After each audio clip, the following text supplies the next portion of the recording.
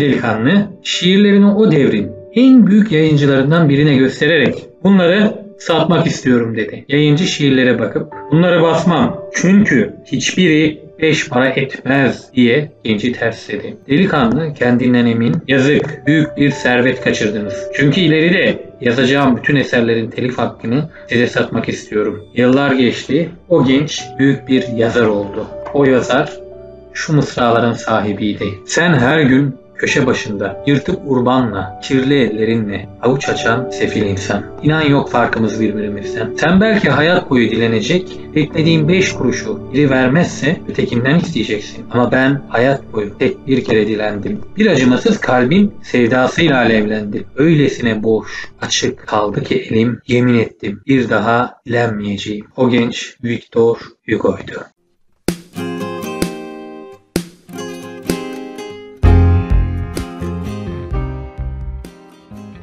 Anne, yüreğinin dibinde af bulunan uçurumdur.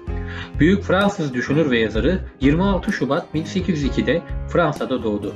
Babası Napolyon'un ordusunda generaldi. Annesi ve babası arasındaki anlaşmazlıklar yüzünden çocukluğu sorunlu geçti. Hep annesinin yanında kaldı. Hukuk fakültesine giren Hugo daha sonra edebiyata yöneldi. Tam da edebiyata yöneldiği yıllardı. Yıl 1821'di. Hayatta en büyük destekçisi olan annesini kaybetti. Aynı zamanda çocukluk aşkının önünde engel olan annesiydi. Bir acısı çocukluk aşkına kavuşması oldu. Aşk ikiyken bir olmak demektir. Aynı yıl 1822 yılında çocukluk aşkı ile evlendi. Aynı yıl ilk şiir kitabı Otlar ve Çeviriler yayınlandı. 1822'de ilk romanı İzlanda Hanı çıktı. Bu kitapla edebiyat dünyasını kendine kabul ettirdi. Romantizme bağlı bir yazar olarak tanındı. Gülmek için mutlu olmayı beklemeyiniz. Belki de gülmeden ölürsünüz. Yazdığı oyunlar yasaklandı. Hernani oyununu yazarak karşılık verdi bu yasaklanmaya. Bu baş kaldırış ününü arttırdı. Onu liberallere yaklaştırdı. Notre Dame'ın kamburu edebiyat dünyasındaki yerini sağlamıştı. Bu başarısıyla yoğun bir çalışmaya girdi.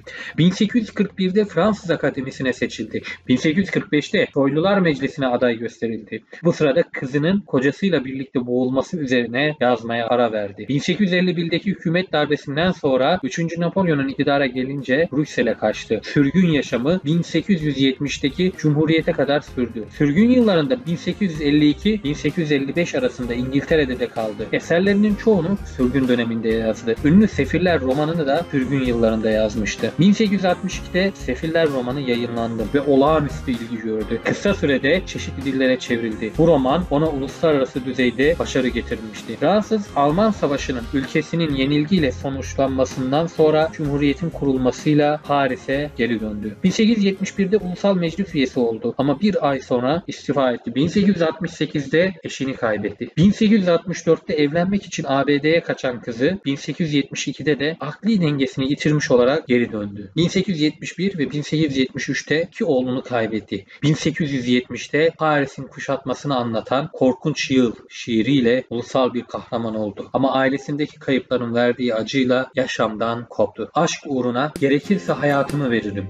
Ama özgürlük uğruna aşkımı da feda ederim. 1871'de siyasi nedenlerden tekraren Brüksel'e kaçmak zorunda kaldı. Kısa süre sonra döndü. Senatör seçildi. 1878'de beynindeki bir dolaşım sorunu nedeniyle rahatsızlandı. Şöhret, gençlik ve gurur, mezar hepsini alır. Fransız edebiyatının en çok ürün veren yazarı. 1830'larda romantizmin en güçlü beyni. Popüler Fransız edebiyatının babası ve Fransa'nın ulusal şairi. 15 yaşındayken bir şiiriyle akademi ödülüne layık görülmüş müthiş yetenek. 22 Mayıs 1885'te Paris'te yaşamını yitirdi. Ölümünde cenazesi ulusal törenle kaldırıldı. Pentagon'a gömüldü. Kişinin sahip olduğu tek şey çekişse etrafındaki her şeyi çivi olarak görmeye başlar.